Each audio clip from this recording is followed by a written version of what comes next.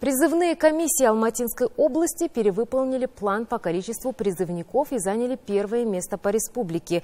Вместе с тем на собрании по итогам призывных кампаний 2023 года был выявлен и ряд проблем. Так выяснилось, что новобранцы не обеспечены социальным медицинским страхованием. Эти и другие не менее актуальные вопросы обсудили участники собрания. При этом главной темой встречи представителей оборонного ведомства стал вопрос призыва граждан на срочную воинскую службу.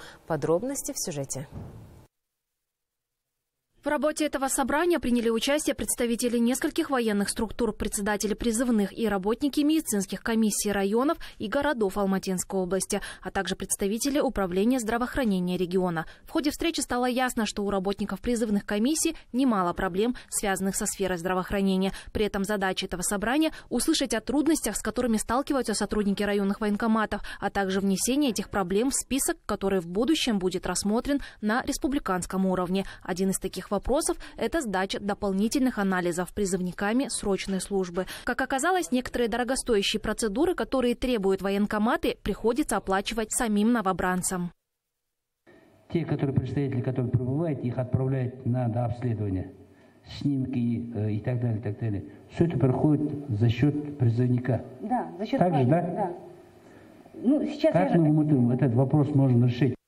Ответ на данную проблему дал представитель областного управления здравоохранения. По словам специалиста, этот вопрос будет учтен, а также направлено предложение на обеспечение сдачи вышеуказанного перечня анализов в рамках гарантированного объема бесплатной медицинской помощи. Спикер также отметила, что подобные проблемные вопросы должны решаться на районном уровне, ведь именно они должны оставлять бюджетную заявку для своих жителей, призванных на службу. У нас у многих призыв- призывников нет уже отчисления фонду э, по соцстраху, по соцстрахованию нету отчисления, Э, поэтому они вот это медуслуги э, проходят у нас по СМС.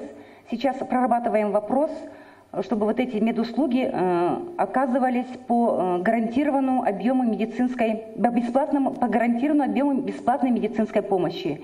Поэтому, если это проработается вопрос, будем м, освидетель- вот это медосмотр будет проходить все бесплатно.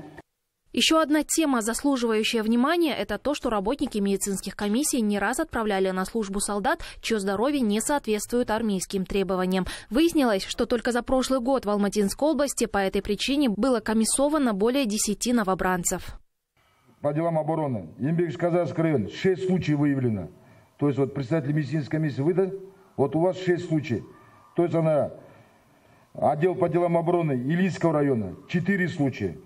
Отдел по делам обороны Карасайского района, три случая. Кигена Раимбекского района, два случая. Жамбулского района, два случая.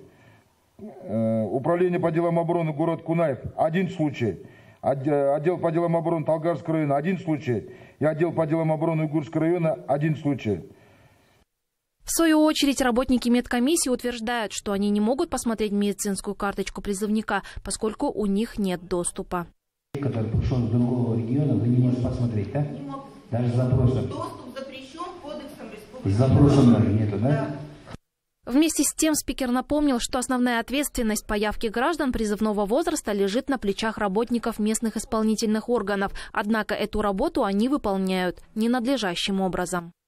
Вот здесь бы хотел бы обратить внимание, уважаемые представители призывных комиссий, хотел бы напомнить, что в законе написано, что призыв граждан э, организует и обеспечивает местными исполнительными органами.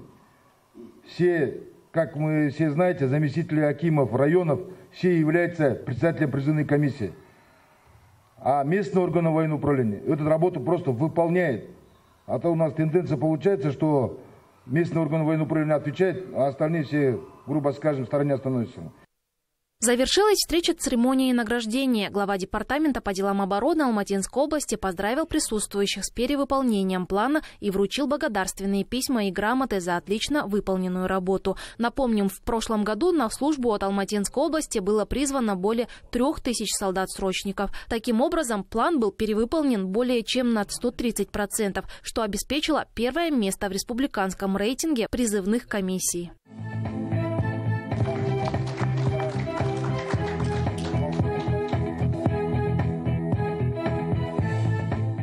айсұлу жандосова жайдарбек нұрбек телеканал жетісу қонаев